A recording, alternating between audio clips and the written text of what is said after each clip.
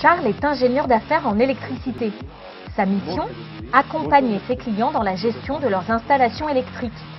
Diagnostic de sûreté et de fiabilité, optimisation des performances ou encore suivi de travaux. Pour notre spécialiste éclairé, tout commence sur le terrain. Soit par de l'inspection visuelle, soit par des mesures, soit par des analyses. Nous, en fait, on ne fait pas d'installation et on ne vend pas de matériel. D'accord. Préconisation, vérification. Voilà, préconisation et vérification.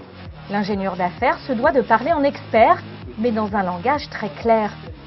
Le local où l'on est n'a- ne bénéficie d'aucune protection.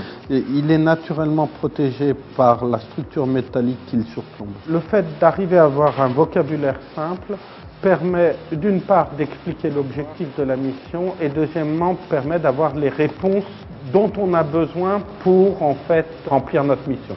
Et la mission de Charles ne fait que commencer. Car si le courant passe très bien avec les clients sur le terrain, Charles est aussi très branché par l'analyse des données. C'est au bureau que je cherche la meilleure solution à proposer au client en fonction de son problème.